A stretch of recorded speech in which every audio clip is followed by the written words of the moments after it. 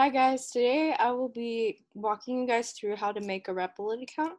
So let's first sign up. Um, now I've signed up through my Google account.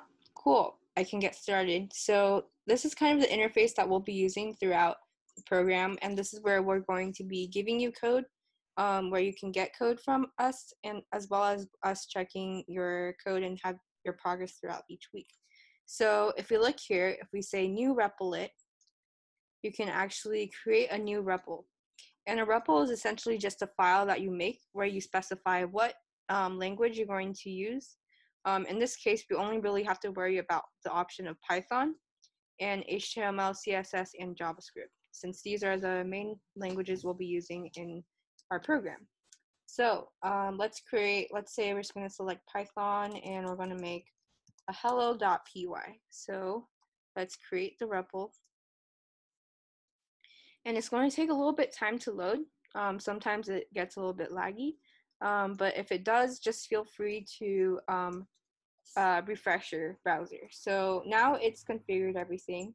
Um, we have a hello.py. So let's um, write some code here. So we're going to print hello, and when we click run, um, what happens is it runs the file. However, um, let's go through another case where we would have to maybe import uh, code from GitHub. So we can go to new REPL, and this time, instead of making a Python file, we're going to import from GitHub. Um, GitHub is essentially a place where we store all of our code and um, kind of sorted into folders called repositories. So now we have access to all of our repositories, um, and we can also um, access repositories on other people's sites. Um, so in this case, let's say we have our first assignment and I need you to um, import a repository called um, About Me. And so let's click that and it gives us the option and now we're going to import. And what it does, it makes a copy of the folder from GitHub onto our Replit account. And so here we have to be really careful about these commands because we want to specify that we're going to be using HTML since we know we have HTML files in our folder. And um, in terms of running the button, um, it automatically runs index.html. So we're just going to click done. Okay, so now we have configured everything. Um, we actually have some little code that we have to take care of. So here, um, just to understand, it basically states what language you're using and what are you running? So by default, it will run index.html, which is the file that we have here. So let's try running it and see what the run button will do. Great, so it does run um, this HTML file that we've made. And so this is an example of us importing a HTML file. Okay, let's try an example with another repo that contains Python files.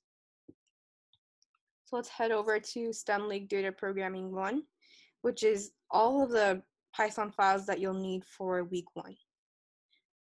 So we normally put all of our Python um, files and files that we need for coding sessions on our GitHub so that students can import them onto Replit. So in this case, we want to maybe run, um, configure the run button. So now we want to be specific because in this case, we have two different files and we can run either one. So let's say I want to run madlibs. The syntax to run a madlibs file is by saying python space madlibs.py. And essentially all we're doing is saying, hey, I'm gonna run this in Python and I'm gonna run this specific file. So now we're gonna click done and it will load our REPL. And now we have, um, if we click run, this run button, it will run madlibs as you can see here. However, if we wanted to change what file we're running, we can just simply go to this .repl file, and instead of writing python madlibs, we can write python space.py. And let's stop running for a little bit, and let's try running. Right, so now it's running whatever should be printed here. And so this is how we configure Replit. And um, a quick tip is that a lot of times we'll be switching through files. So you, um, students may be working on multiple coding assignments at once. So please make sure to update um, what file you're running because sometimes that can get confusing if you didn't update this. Um, it'd be weird that like some of the Python files aren't running. And so we want to make sure that we're specifically using this syntax for H, uh, Python files and the other syntax where we don't have run called on in HTML and CSS and JS files. And another cool tip is that here you can actually say, um, instead of having a run button configured for you, you can simply just type in, let's say I want to run madlibs. I can just type in madlibs.py, and that is the command that I'm running. And so now it's running something from madlibs, which first um, prints out, please type in a number.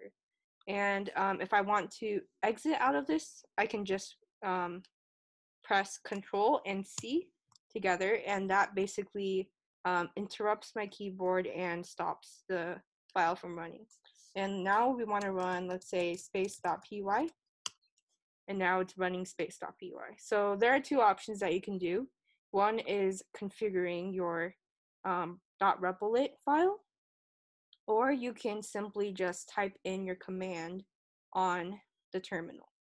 And um, to explain a little bit, this is where we're going to be editing all of our code. So as you see here, as we toggle through each code file, um, it updates it. And as well as this is where the folder, or we call the directory, where we're going to put all of our files. And this is where we're going to um, essentially run our code. So this is called the terminal.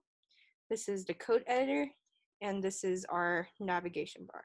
So another thing I wanted to add is that on Replit, we can also share files. So if you ever have any trouble with um, sharing or like your code and you wanted to maybe ask a mentor or classmate to help out, you can always um, use this share button to invite someone to join on this link and um, just copy and send it to someone. And this is a secure link that gives this person or the student that you give this link to access to your code so that they can help you out. So it's kind of like a Google Doc for code. So I hope this is helpful for you guys. Um, I hope you guys learn a little bit about how to use the command line or the terminal, um, as well as how to make edits in your editor. Um, feel free to play around with this because um, a lot of this configuration takes practice. But if you ever have any questions, feel free to ask the mentors um, the instructors, or other classmates that can help out. Thank you.